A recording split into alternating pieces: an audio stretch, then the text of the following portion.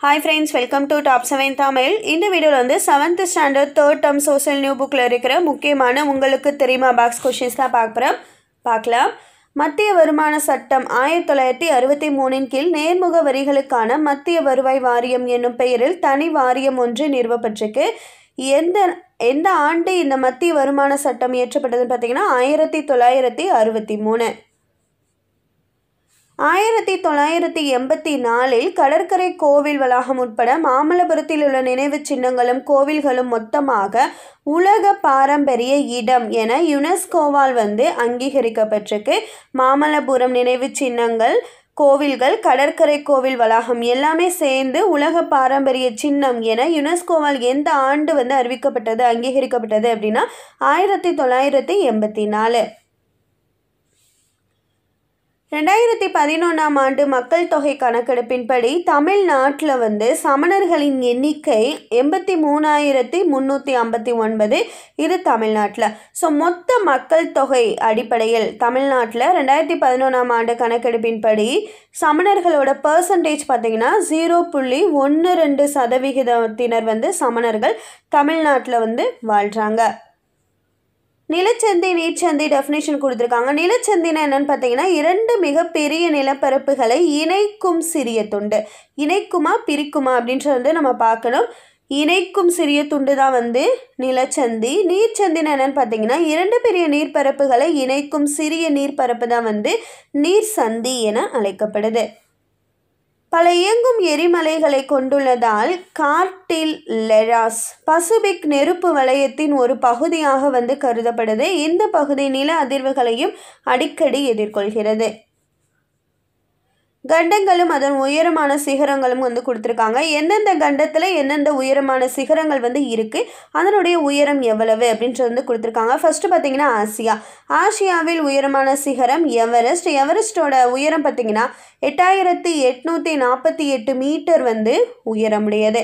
அடுத்ததாக தென் அமெரிக்கா தென் அமெரிக்காவின் உயரமான சிகரம் அகான் காகுவா. இதனுடைய உயரம் பார்த்தீங்கன்னா ஆறாயிரத்தி தொள்ளாயிரத்தி அறுபத்தி ஒன்று மீட்டர். அடுத்தது வட அமெரிக்கா அமெரிக்கா வட அமெரிக்காவின் உயரமான சிகரம் மெக்கன்லி சிகரம். இதனுடைய உயரம் வந்து ஆறாயிரத்தி நூற்றி தொண்ணூற்றி நாலு மீட்டர் வந்து உயரமுடையது. அடுத்தது ஆப்ரிக்கா ஆப்பிரிக்காவின் உயரமான சிகரம் கிளிமாஞ்சரோ.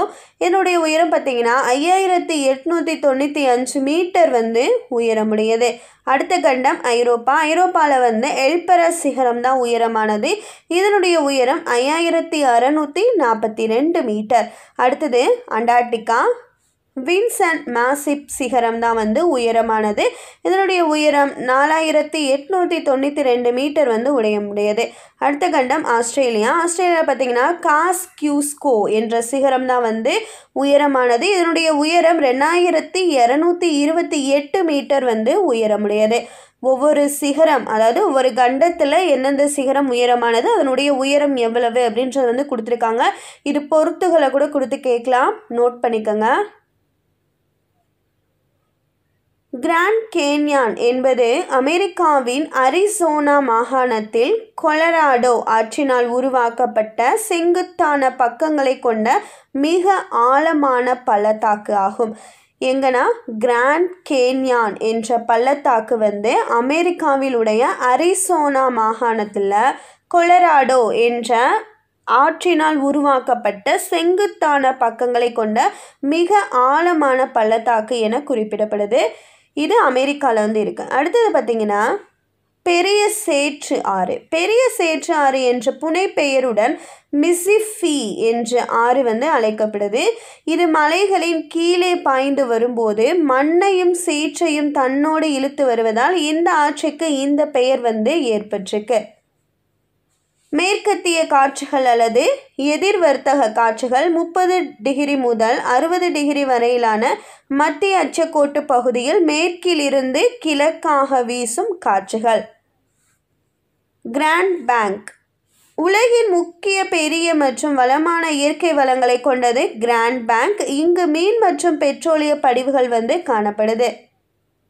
பனாமா கால்வாய் ஆயிரத்தி தொள்ளாயிரத்தி பதினாலில் பனாமா நிலச்சந்தியின் குறுக்கே எண்பது கிலோமீட்டர் நீளத்திற்கு அட்லாண்டிக் பெருங்கடலையும் பசிபிக் பெருங்கடலையும் இணைக்கும் விதமாக இந்த பனாமா கால்வாய் வந்து வெட்டப்பெற்றிருக்கு எக்ஸிமோக்கள் கடும் குளிர் மற்றும் வாழ்வதற்கு கடினமான பகுதிகளில் எங்கு வந்து மீன்கள் அதிகம் கிடைக்கிறதோ அங்கு வாழும் மக்கள் வந்து எக்ஸ்மோக்கள் இவங்க விலங்குகளின் மென்மையான முடிகளாலான உடைகளை உடுத்தி இக்லூக்களில் வந்து வாழ்கின்றன. இக்லூக்கள் என்பது அவர்கள் வாழும் வீடு.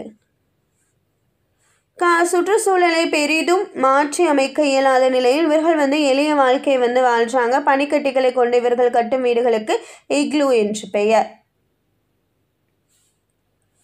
பூமத்திய ரேகை பகுதிகளில் வெப்பச்சலன மழை கிட்டத்தட்ட தினமும் பிற்பகலில் வந்து நிகழ்கிறது. பூமத்திய ரேகை பகுதியில் வெப்பச்சலன மழை எப்போ ஏற்படும்னா பிற்பகலில் வந்து ஏற்படும்.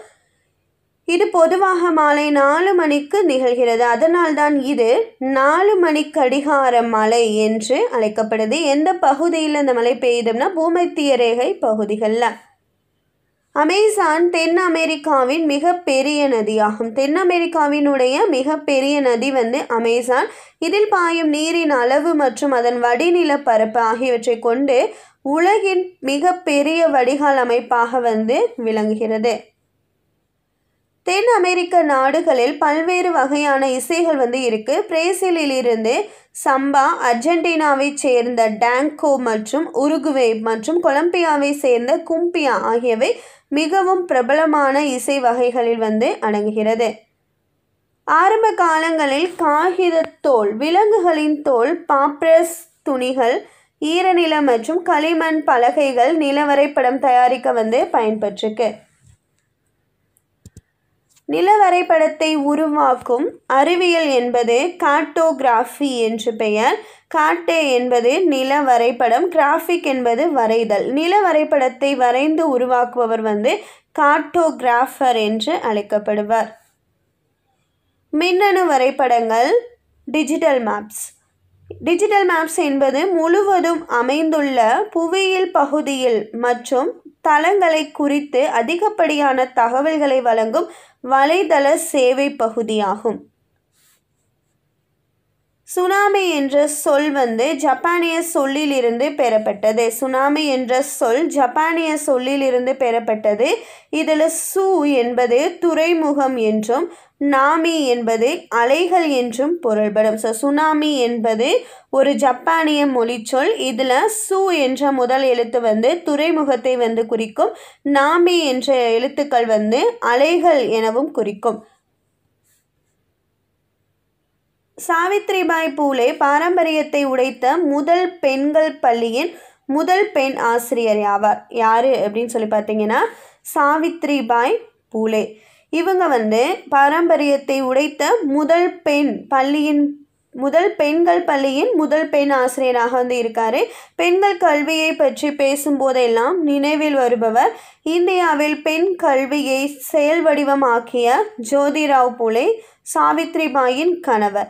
இவர்கள் இருவரும் பெண்களுக்காக முதல் பள்ளியை எந்த ஆண்டு வந்து தொடங்கினாங்கன்னா ஆயிரத்தி எட்நூற்றி நாற்பத்தி எட்டாம் ஆண்டு தொடங்கியிருக்காங்க.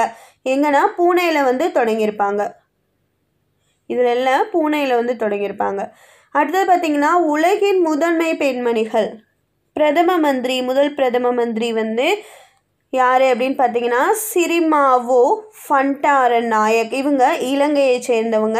விண்வெளியில் முதல் பெண்மணி வேலண்டினா தெரெஷ்கோவா. இவங்க சோவியத் ஒன்றியம். எவரெஸ்ட் சிகரத்தை அளவிட்ட முதல் பெண்மணி? ஜன்கோ தபே. இவங்க ஜப்பானை சேர்ந்தவங்க. அடுத்து ஒலிம்பிக்கில் தங்கம் வென்ற முதல் பெண்மணி யார் அப்படின்னு பார்த்தீங்கன்னா சார்லோட் கூப்பர். இவங்க வந்து இங்கிலாந்தை வந்து சேர்ந்தவங்க. ஸோ நோட் பண்ணிக்கோங்க. கேட்கலாம். பொறுத்துகளை கூட கொடுத்து கேட்கலாம். முதல் பெண் யார்? இந்த துறையில் முதல் பெண் யார்? முதல்ல ஜெயிச்சவங்க யார்? அப்படின்னு சொல்லி நோட் பண்ணிக்கோங்க.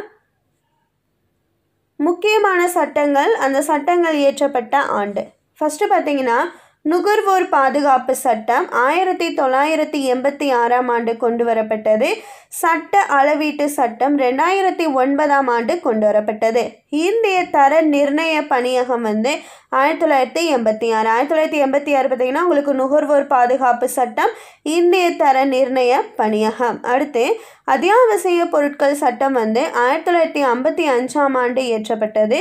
கருப்பு சந்தைப்படுத்துதல் தடுப்பு மற்றும் அத்தியாவசிய பொருட்களின் பராமரிப்பு.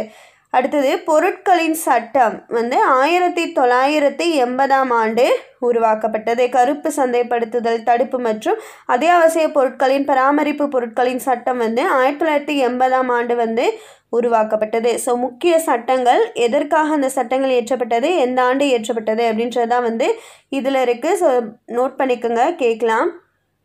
இந்த வீடியோவில் வந்து நம்ம seventh standard third term social புக்கில் இருக்க முக்கியமான கொஸ்டின்ஸ் தான் பார்த்தோம். இதே மாதிரி டென்த்து நைன்த்து எயித்து செவன்த்து வந்து கம்ப்ளீட் ஆயிடுச்சு.